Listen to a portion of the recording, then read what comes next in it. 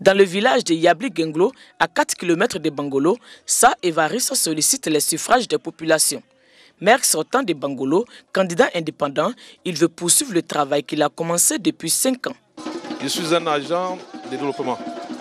Nous avons commencé un travail, nous avons suffisamment travaillé. Nous avons commencé dans un premier temps, depuis notre élection, par réconcilier les uns avec les autres. Mais le prochain mandat, nous allons prendre les 5 ans pour nettoyer Bangolo, pour travailler la ville de Bangolo, pour rendre Bangolo prospère, pour donner à la population ce qu'ils attendent réellement de Bangolo. Et nous sommes prêts et c'est encore possible. Non loin de là, il y a de l'ambiance au quartier général de Douomompi Wenye. Candidat indépendant, il est le dépositaire de la liste Agir pour un Bangolo nouveau. Je suis candidat aux élections municipales de Bangolo parce que tout ce monde-là a demandé à ce que je sois candidat pour développer Bangolo. Mon premier programme. Terminer le tête de vie que mon grand-frère le pôle a commencé.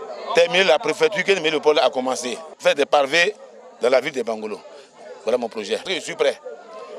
Je suis prêt parce que le développement de Bangolo doit passer par moi. Je suis prêt à m'humilier, à me faire petit pour que Bangolo puisse aller de l'avant. Voilà le but de ma candidature.